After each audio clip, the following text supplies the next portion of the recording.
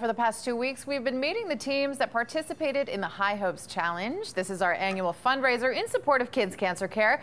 Today, we're going to introduce you to Travis and Kelly, who soared to new heights, literally.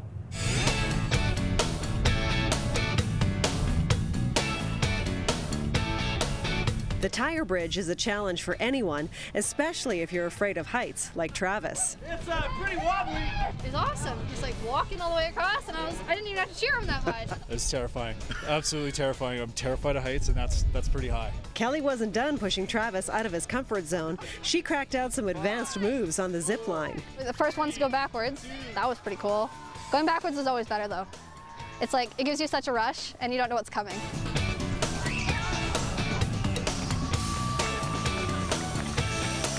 Over the past three years, the High Hopes Challenge has raised $450,000 for Camp Kindle.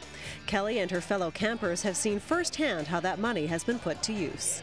It's still not really setting in that this is where camp's always going to be now.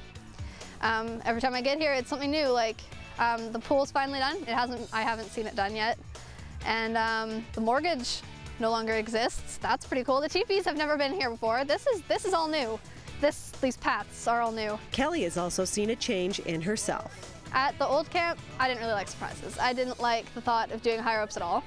I didn't like trying new things. I was, no, that's not happening.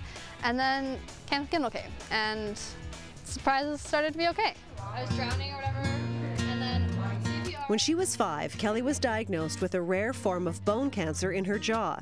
She went through 14 rounds of chemotherapy and had a 16 hour surgery where they removed a bone from her leg and used it to form a new jaw. Now I'm considered cured, which is pretty awesome. I don't have to worry about the cancer coming back, at least for my jaw. I don't have to worry about more treatments. I don't have to worry about any of that. All I have to worry about is that I have friends and family like at Camp Kindle and at the hospital looking out for me and making sure that I stay safe. She's amazing. She's a, a beautiful little girl. Just has so much courage and sorry, I'm just really choked up because she's so strong and so confident.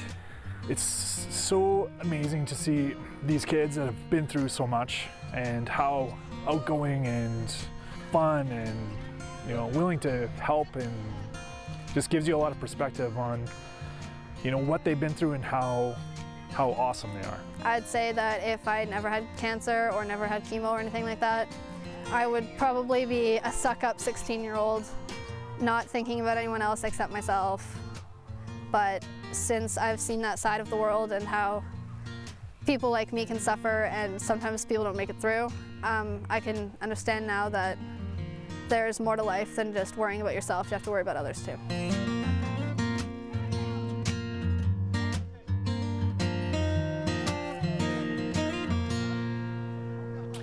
And to date, the 2013 High Hopes Challenge has raised over $147,000. You can still donate online at kidscancercare.ab.ca.